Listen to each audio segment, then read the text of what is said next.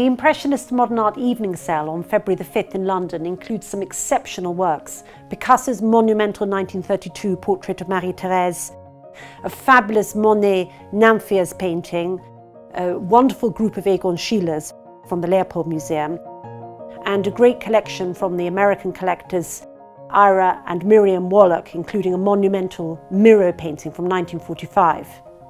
Further highlights include an exceptional group of French Impressionist landscapes from the collection of the late Lord Jersey and Monet's rare snow scene from 1885, Le Givre à Giverny, which captures the fabulous effects of the light on the snow.